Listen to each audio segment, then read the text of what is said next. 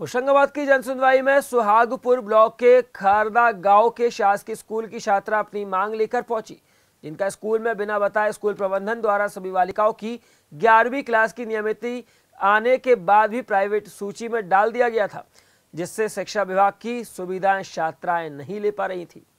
परीक्षा पर भी प्राइवेट रूप में ही देना पड़ रही है। इसी शिकायत को लेकर करीब 20 छात्राएँ पहुँची थीं। यहाँ कलेक्टर ने शिकायत पत्र को छात्राओं से ही सभी अधिकारियों के सामने पढ़वाया।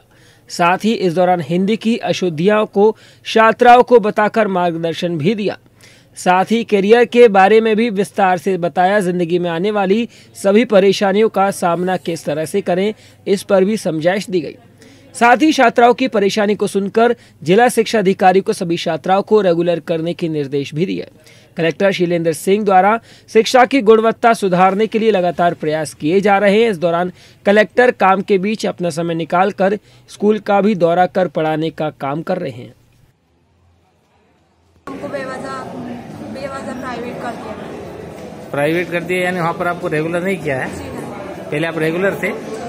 किसने किया है प्राइवेट हमारे यहाँ के प्रताप क्या नाम है।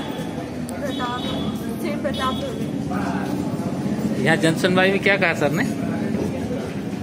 यहाँ आए थे ज्ञापन देने?